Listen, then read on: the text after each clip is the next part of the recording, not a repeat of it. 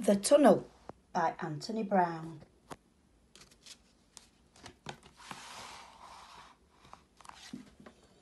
Once upon a time, there lived a sister and brother who were not at all alike.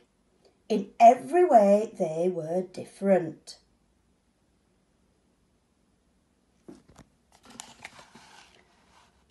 The sister stayed inside on her own, reading and dreaming. The brother played outside with his friends, laughing and shouting, throwing and kicking, roughing and tumbling.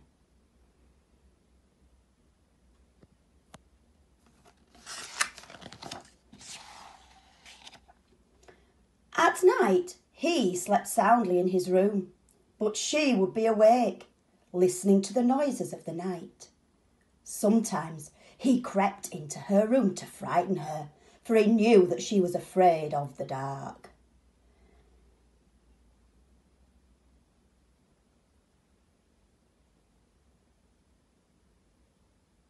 Whenever they were together, they fought and argued noisily all the time.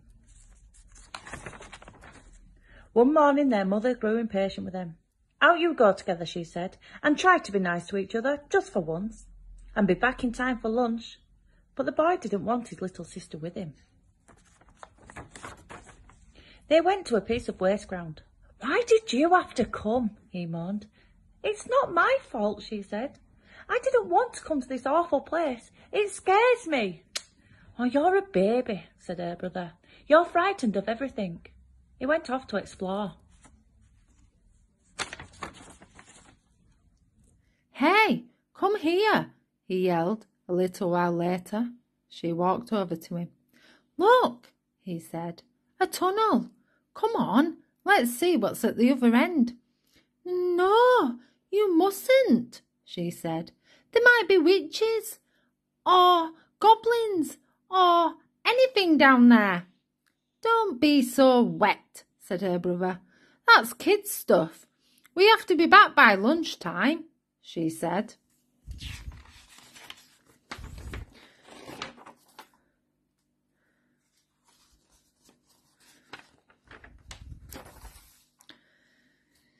His sister was frightened of the tunnel, and so she waited for him to come out again. She waited and waited, but he did not come. She was close to tears. What could she do? She had to follow him into the tunnel.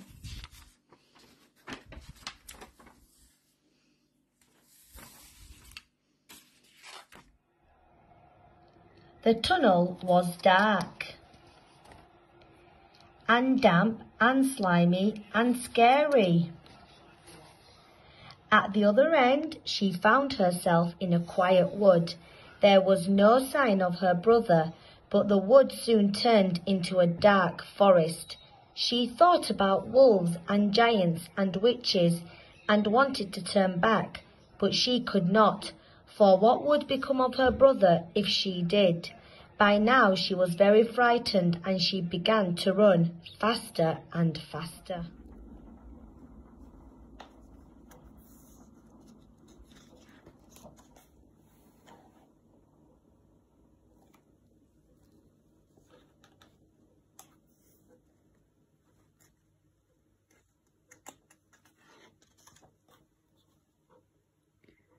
Just when she knew she could run no further, she came to a clearing.